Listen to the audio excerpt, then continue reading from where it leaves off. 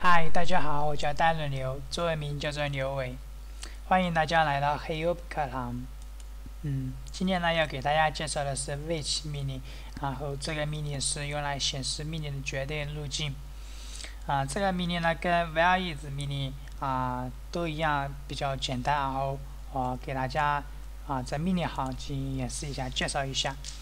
啊，which 命令。啊，比如说我们要查找某个命令的绝对路径，比如说 ls，这是我们经常要用到的。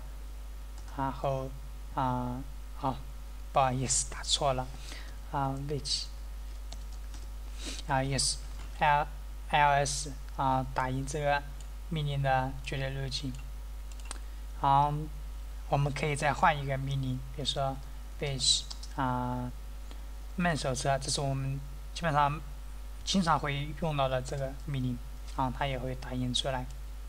which，然后我们再换一个命令，比如说 cd，这个命令也是非常常、非常常用到的，但是现在它就不会有任何的返回的啊值，这是为什么呢？因为我们是啊啊基于 pass 这个变量啊。进行寻找的这个 which，我们可以打印这个变量 echo，就是说在只有在这这些路径下面的命令，然后这个 which 才能够进行查找，才能够将它的绝对路径打印出来。而这个 cd 呢，它是希尔类子命令，所以它是查找不到的。啊，这个是大家需要注意到的地方。